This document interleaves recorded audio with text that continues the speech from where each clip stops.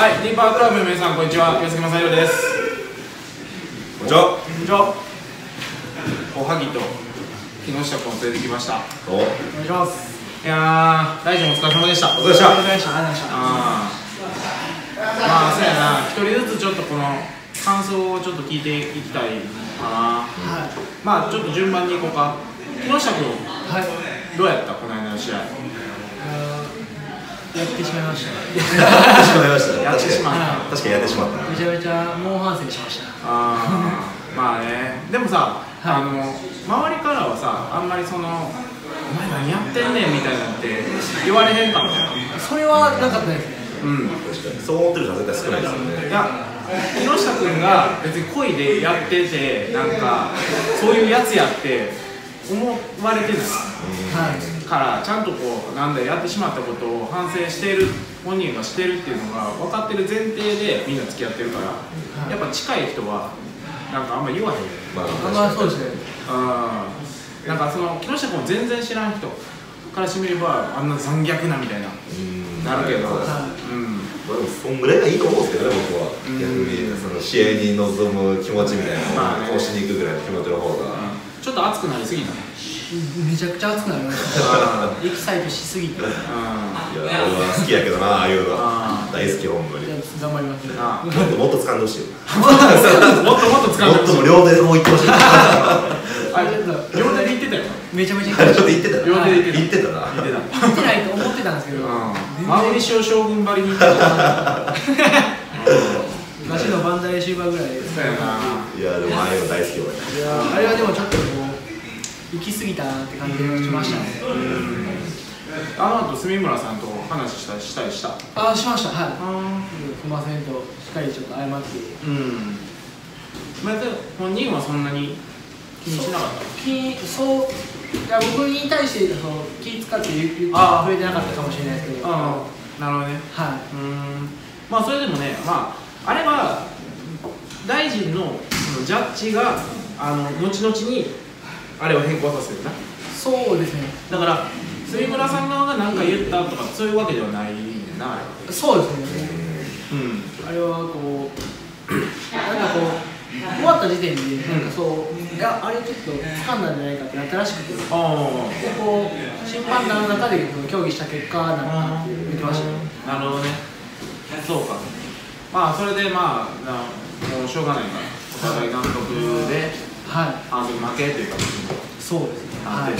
失格ってありましたね。失格なはいまあなでも長いこと格闘技やってたらそういうノーコンテストとか、はうんなることもあるけど、うん、まあでも君のその強さみたいなのはちゃんとあの周りは本当に認知したと思うから確かに。ほん。まやっぱね。そう。なれたらよかったですねインパクト残ったよ絶対お前ですかうん、うん、いやほんまにないい試合やったほんまにねうん僕の周りの人からも評判めちゃめちゃ良かったですよ。ええー、そうなんですか。マジでマジで。ー、うん、でもまあいつもの通りやったな、うん、全然気負いもなく、はうん、出ていって。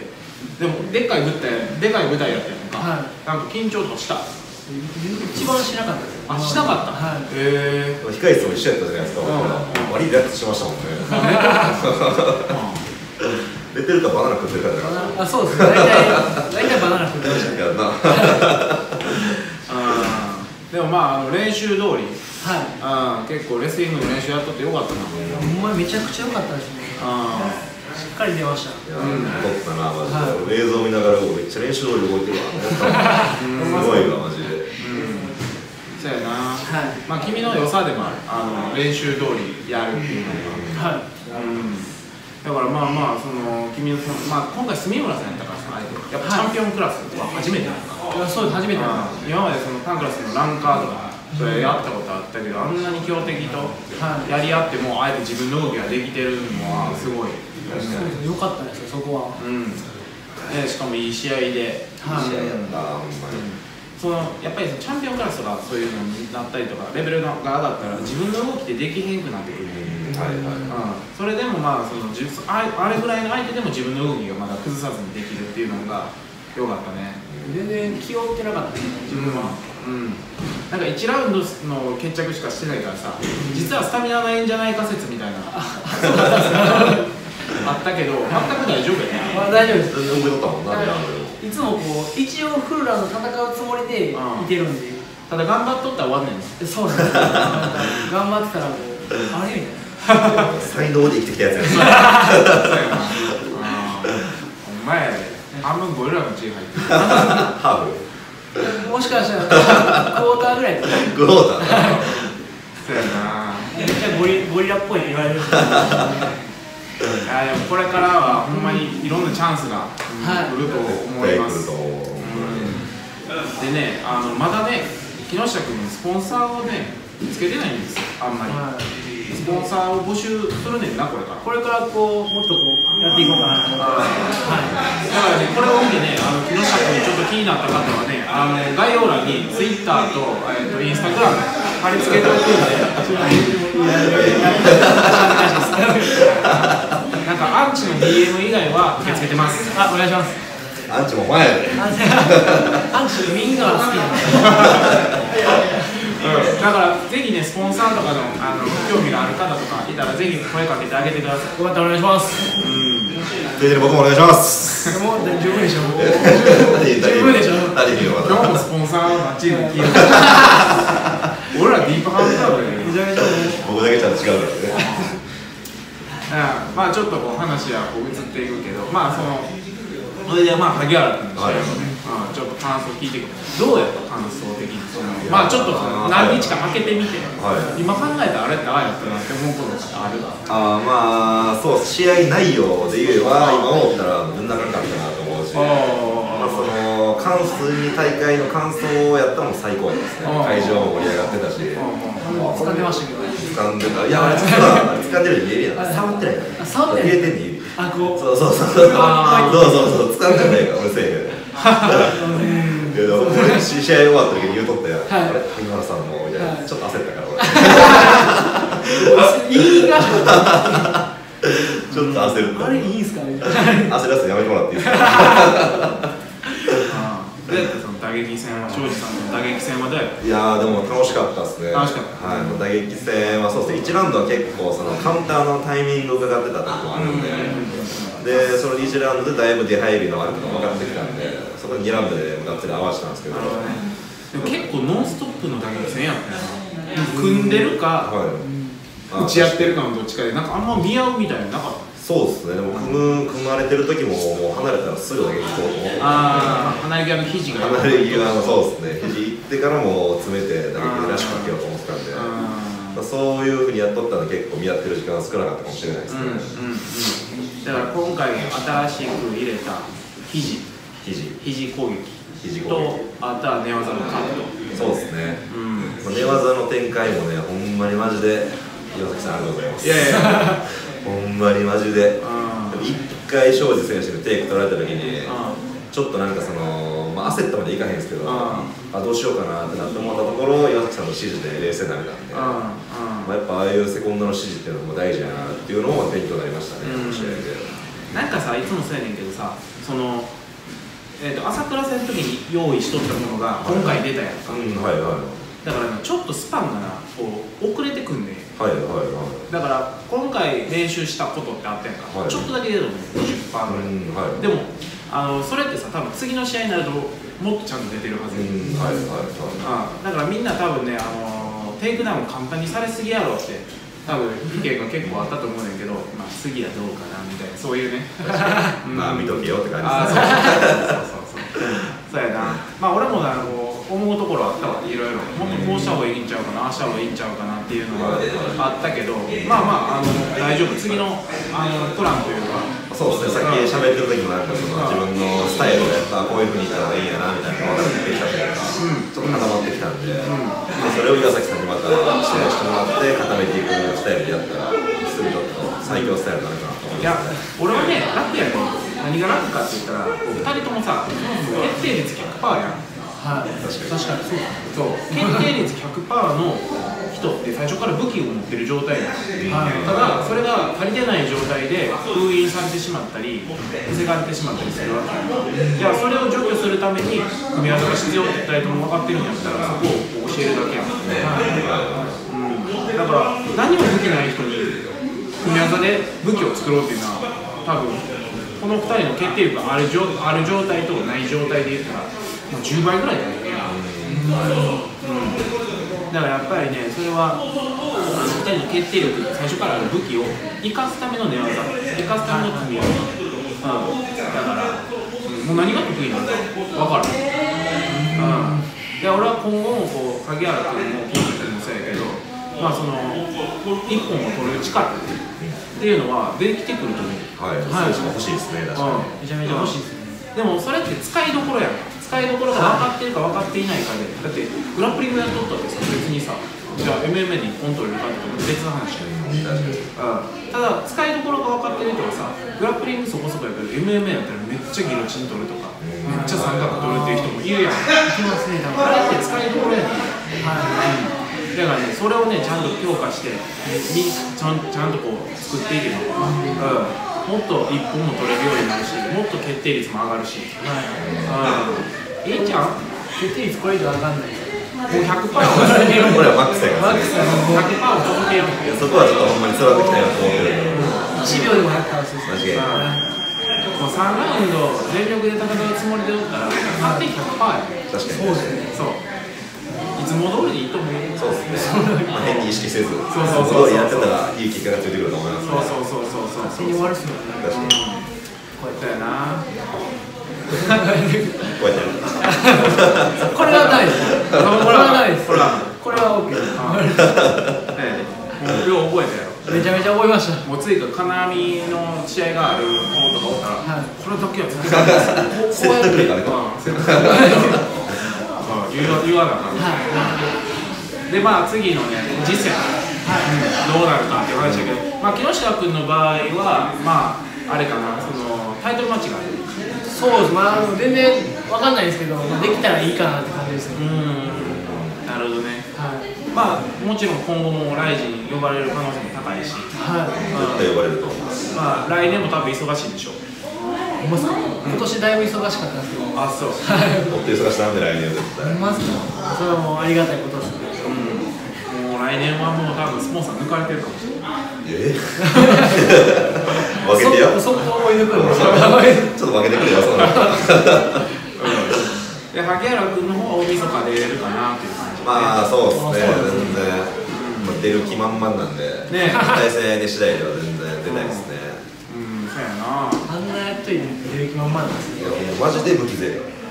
筋肉痛とかもなかった。びっくりしたもん、次の日。それはすごいですわ割り元気でしたえね。もう物もらいなかったら全然練習できますもん。あそうやなうんでももうだいぶ下がってきたよだいぶ下がりました。うんあもうそろそろ練習始めて練習再開してまた、うん対策お願いします。そうやなうんだからまあその大晦日出れるって仮定してちょっと練習していってそうですね、まあ、一応ドミネーター選手とやりたいんで。うんそうやな。それでまあチャンスがあるんだったらまた2月にトリがあるって言ってるやん。見たですねあれも出たよ。出たいっす。何でもい何でもいいですあそう。どこでも興味やから。速攻使うから。あ勝利さんも最後あれあの控え室来てくれて。あ、来てくれましたね。ね。いいい人でした。ね。男らしく来たよね庄司さんが物もらいもらってないかなってめっちゃ心配になってるんで、今。ああ勝利さんもあの YouTube やってるからさあまあ確かにのこの前になってたら確かに俺のんやって庄司さんが物もらいもらってたらぜひコラボしましょう。物もらい同士。萩原君のやつやからな僕のやつです。間違いない。間違いない。何のし何の共有やか 僕の物もらいがついに東京に行っちゃいましたね。萩原君の物まねなら欲しいっていうファンおる おるかな？いや怖いな。逆に怖い。怖い。なこういうコメントきますよこれ。怖い怖い。い聞きます。つでもあげるよ、そんな。いやいや。まあどうやあとどうやった？あの金網。金網さライジンでやりたい金網がいいって言って金網が良かったです。絶対金網がいいですね。もうナンバーシリーズにもぜひ金網入れてほしいぐらいですね。でもなんかトリガーはずっと金網でやるらしいあ、あそうなんですか。へえ。俺は鳥がやな。いやだからさあの言ってたやんかなんかこうあまあだ誰かインタビューかなんかで聞かれてたやんか、はい。あの金網のチャンピオンを作る。とああ、なんか言ってましたね。はいはい。かまあでもあれって別に榊原さんが言ってたわけじゃないからはい。あれ実際の話じゃないんやろ。うけど、はい。実際それでトリガーのチャンピオンみたいなので今後出てきてもおかしくないと思う確かに確かに。そのあたりもっとでかくなっていきますね。でも俺あれがやってほしい。のあの UFC がやってるやってるさあのマスビダルとさあのディアスがやったあのタイトルマッチ。BMF あーそうそうそう、はいはいあれやってくれんかな。あるっすね。ライジンで。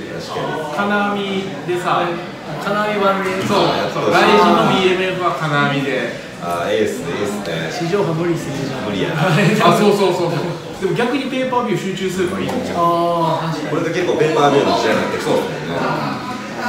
そうやな。確かにそれありですね。その時にあの朝倉未来と再生とかできたら一番ね盛り上がりそうですね。にみんなおもろいじゃないですか。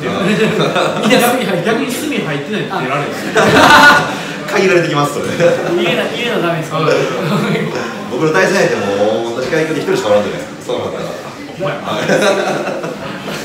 入れ墨入ってるって言ったらもあうやつしかおらんからね。そうやな。いやだから今後その大晦日もどれぐらいカード決まってんか俺全然知らんけどさ。まあそれでもまあまあ今後それでフェザー級のさタイトルせタイトル戦線とかさ、そのあれもこう変わってくると思うから。そう確かにまあ楽しみっちゃ楽しみや楽しみですねまあ今年大晦日ギリギリ間に合ったらまだもう一回仕事があるから。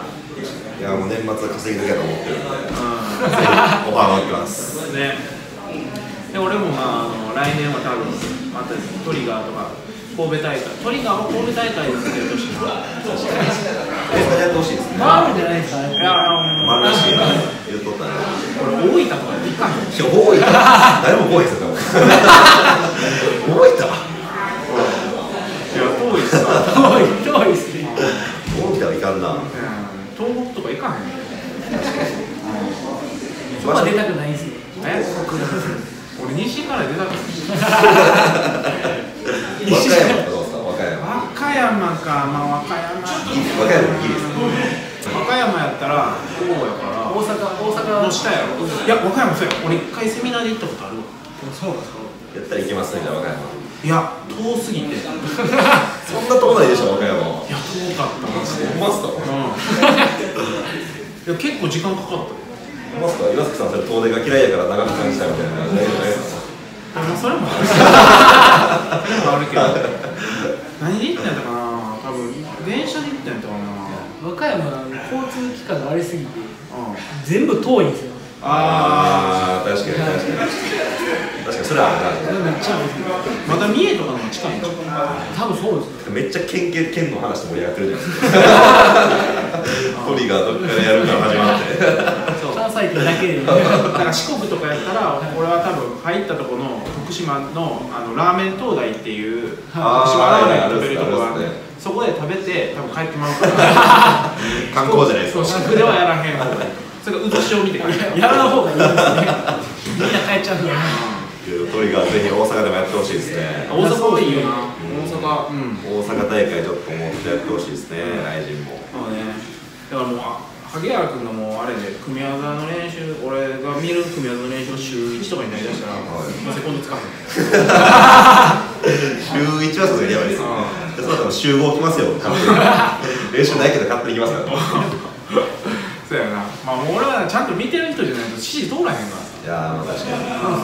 確かに確かに。あのだから今回もちゃんといつも通りその指示通りっていうのはいつも通りうん。練習通りですねそうそうそうそう俺癖とかちゃんと分かってるし。さああじゃないとセコンドできへんやん確かにそうですね。分かってなかったら全然指示出しようがないですもんね、そうやな。まあまあそのセコンドも結構難しいなとは思ったようんまあでもあの立ち立ち技はもう孫さんに任せてるから。そうですね。もうあの連携プレーがめっちゃしっくりきたというか立ったら誠君出たら岩崎さんみたいな。そうそう。そうあのもう寝た瞬間孫さんすって下がって言ってましたね。僕 なんですよね卓球のダブルスみたいな感じで下がるみたいなパッパッパッ。パッ最強陣営でしたね、マジで、うん。よかったよかった、まあ、今後も多分ねどんどん上がっていくと思うから、うんで寝技になる展開っていうのは今後も多分あると思うわ。絶対ありますね。だってさ庄司さんですらタックル確かに。だって庄司さんって山本えっと鈴木千尋千尋選手とも打ち合って打ち合ったわけよ。確かに確かに。倉海さんの打ち合ってました。ねでもなぜか君はテイクダウンされるしに来るはい。僕初めにタップ来た時もう話しちゃうなと思いました いいんちゃう？みんなあ確かに。打撃やりたくないん。やまあそういうことですもんね。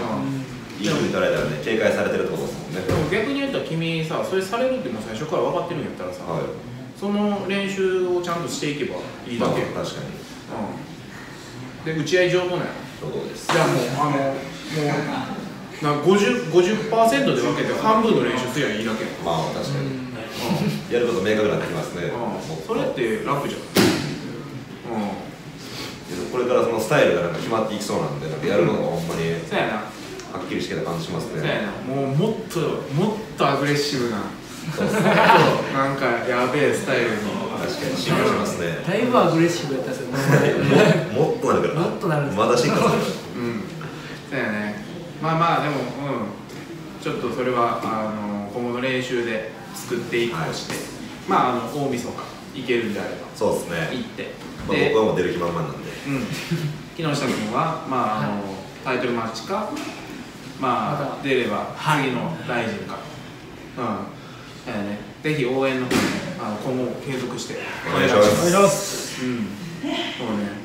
あとシアンさん心配やねどうなんすかなんかだいぶ行ったらしいですね。そうね。ねほんまっすねこうこうなってるのも見ました。ねマジで？俺らアップしとってさ、はい。見えへんかったんやそうっすよねだからちょっとライジンのあの映像が出たらまたちょっと確認しようかなとは思うけどいやシアンさんもまた復活してほしいです。そうですね。そうっすね大阪勢でまだ盛り上げていきたいですね。はい。うんそうね。まああの大晦日金太郎君も決まってるみたいだから。そうそうですね。発表されましたね。それはもうちょっと楽しみ。また俺らもサポートしていこう。お願いしますねこんな感じです。で今回は応援皆さんありがとうございました。ありがとうございまえー今後もディーパークラブの方よろしくお願いしますお願いしますではまたありがとう。チャンネル登録よろしくね。うん、うん、うん、うん、うん。